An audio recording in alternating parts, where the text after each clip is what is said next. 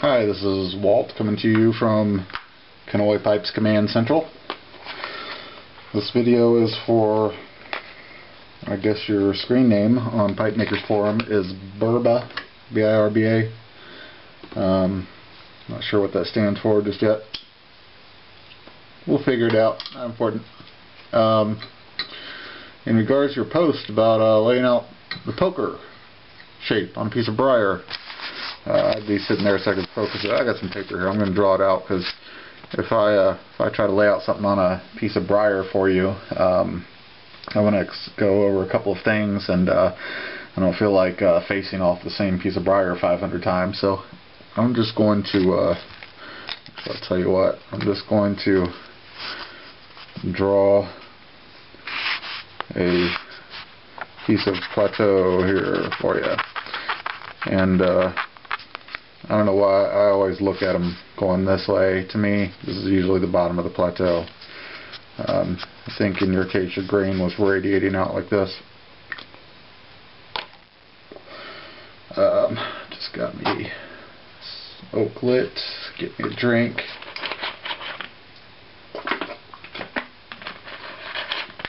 Some uh, Minute Maid lemonade, delicious. Okay, I think what you were going for there was, uh, let me see if I can remember what you were doing.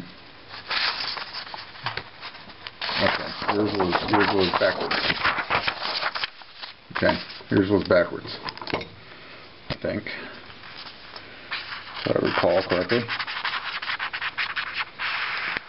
Okay, so it was backwards, and it was, uh, upside down. See, I should have had, here's was upside down like this.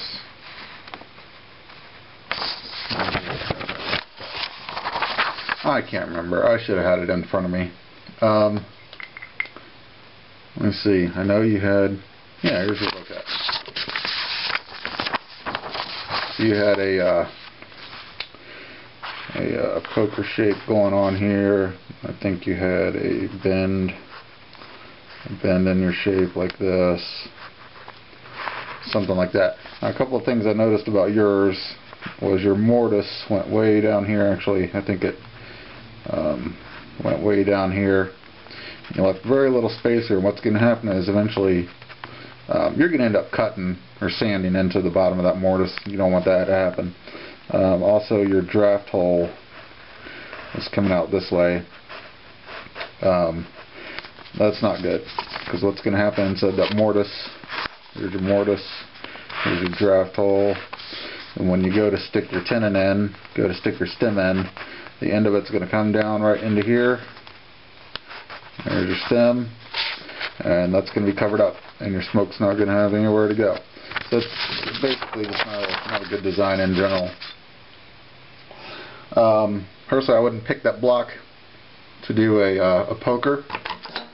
Um, I would probably want a block, and there will be blocks that have more of a straight uh, grain pattern to them, and the uh, grain would follow the shape much better. But if you are insistent on doing a poker, um, actually, let's let me let me give you something you can use uh, with just about any shape. Let me uh, get one drawn, a, a little block profile drawn a little closer to scale.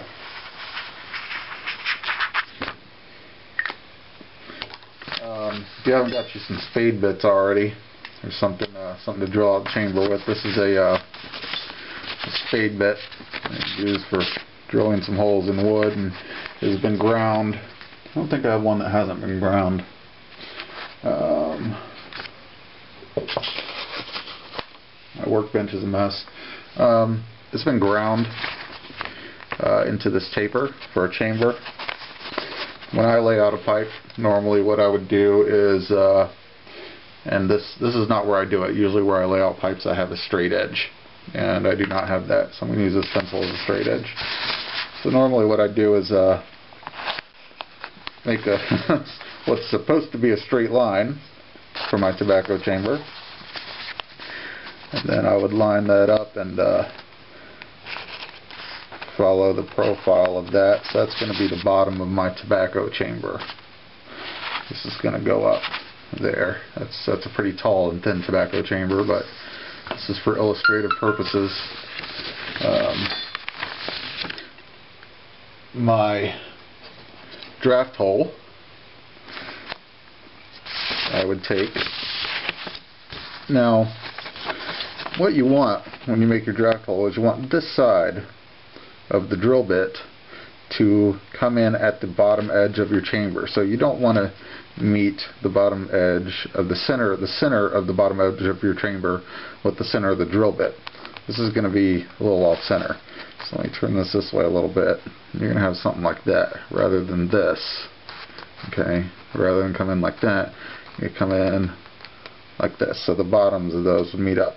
If this is the angle I want on my block, what I'm going to do is I'll usually put a little mark up here where I'm going to start it, figure out my angle, line the center of that side up with the mark where I want it, and line up the bottom edge of this drill bit with the bottom edge of that chamber and mark the center line of the drill bit. Go back to my semi-straight edge and uh, draw what is supposed to be a straight line again from here to there. And the reason why it's not coming out straight is because this is this is my workbench where I carve pipes.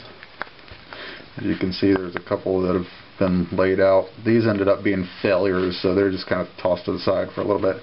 So this is my workbench where pipes and I have a nice soft towel here to protect uh, protect what I'm working on.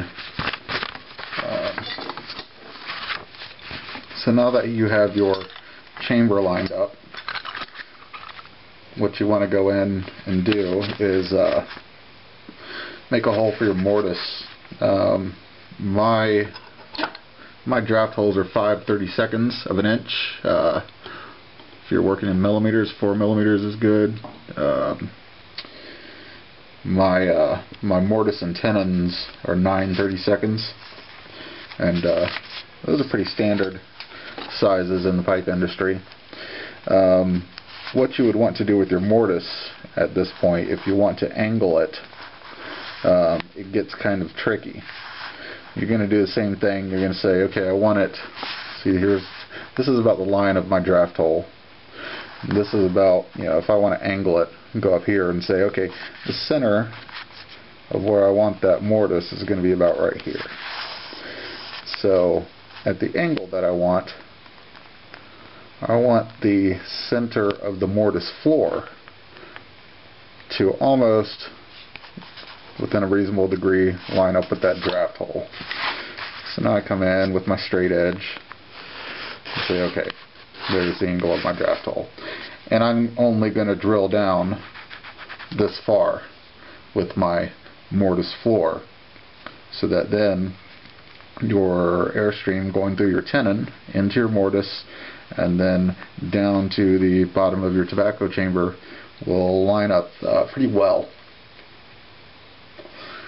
Now, uh, there are a lot of exceptions um, for a uh, for somebody who's who's drilling their first pipe. You might want to stick with a, uh, straight pipe shape. Um, this here could give you probably a nice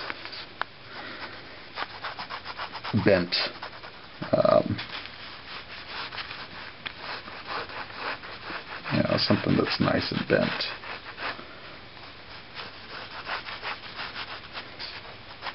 Then I'd probably face that off and put a flush fit stem on it. That'd give you probably you know a nice bent pipe or something like that. Um, for for somebody drilling for the first time uh, what I would do is go with a straight uh, straight design tobacco chamber, draft hole, mortise. You know, just straight. Um, until uh, until you've drilled a couple of those and get comfortable with it. What happens here in this case is that uh, your mortise ends up going this way. You've got a little bit of a hole here so that when you look at the face of your shank with the stem taken off, you've got the outside of your shank, the hole for the mortise, and a little hole cut out here, uh, which is this, where you've drilled the airway and um, uh, people working on pipe for the first time might not know how to handle that. You might sand into it. Um, there's things that you can do to finish that. That's that's a long and lengthy process and explanation. Um, so I ask that you consider drilling yourself a pipe for for a straight chamber. Um, even that block of wood that you have um, this is your plateau um, with your grain radiating out from a point like this. You know, maybe go with a sort of straight Dublin shape. We can round off the bottom a little bit there. Get a nice little point right there for style. And you can actually make that a little bit fluid there And come in this way, follow that grain, put a nice little curve in it right there, come out. I would lop that right off, don't even worry about the plateau right there. Take your chamber and come in like, well, we're going to say, to take our straight edge and mark where we want the center of our chamber to be. Our not, not very straight straight edge then say, okay, I want my chamber to come in right there. And then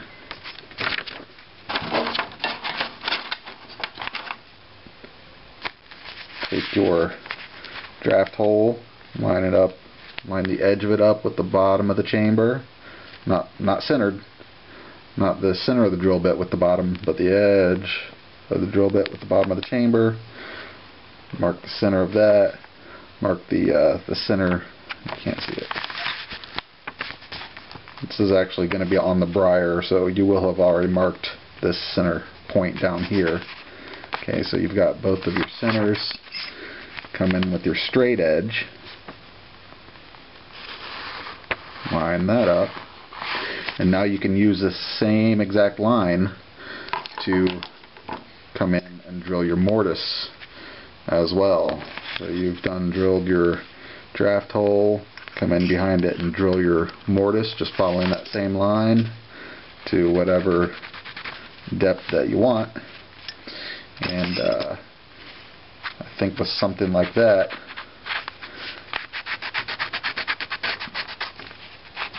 you could make yourself a nice plateau topped kind of a freehand Dublin and you'll have some nice grain going up on it. And then you'll have some probably mostly flame grain going down the shank, some bird's eye on the top and the bottom. Uh, probably unless you've got a bald spot here in your block which I, I think from the pictures you might have um, a little bit of bald spot um, if not you'll have some nice tight bird's eye down there um, if you've got a bald spot, you just want to rusticate the whole thing. But um, if the grain looks good, uh, I'd probably go with something like that. But for you know, for your first drilling effort, um, you probably want to stick with uh, with something um, with something straight, and uh, would work with uh, with the bents a little bit later because you're really going to want to consider uh, how those holes line up and match up and you know what you're going to do with this this end and um, you know not all not all pipes are like that. Some some draft holes come out at more of an angle and use that same oops I went my pin cap use that same line for the uh, for the mortise as well but uh, yeah, I would highly recommend if this is your the first pipe that you'll be drilling. Um, uh, go ahead with a straight one. I think uh, I think you'll be uh, much more happy taking that intermediate step Um, and if you have any questions on uh, um, spade bits or other drill bits, drill bit sizes, um, what people recommend, um, ask people on the forum. It's really hard to uh, to tell people's tone of voice when they're typing, and um, when somebody sees something that's that's just uh, um, way way off the the reactions you might perceive the reactions to be a little bit hostile when people are just trying to trying to prevent a, a catastrophic mistake. Um, so take that into consideration. Uh, I hope this helps and if you have any questions uh, feel free to let me know